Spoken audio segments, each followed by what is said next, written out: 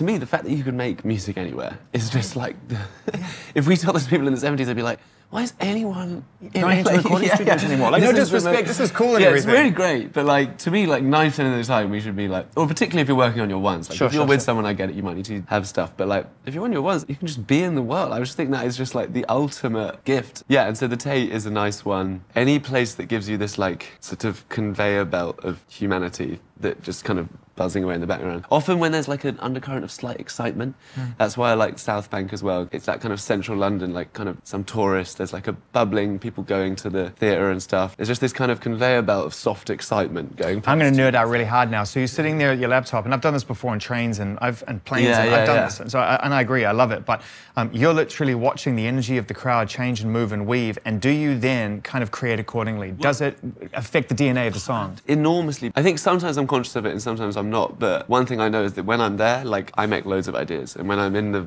vacuum of my own thing, I tend not to. So like it's affecting me hugely. Sometimes it really is like really on the nose. Like you'll be making something and then you'll see like some guy go past on like a skateboard, like doing a move, and the way he moves like you makes you think like, oh yeah, the bass isn't giving the feeling that would like it needs to do this. And then Awesome. sometimes it's much more like you know abstractified, and Yeah. you'll see like a dad with his kid having a time, and that would just make you realise that There's an emotional resonance in there that- somewhere. yeah, You can find it. I think often it's subconscious.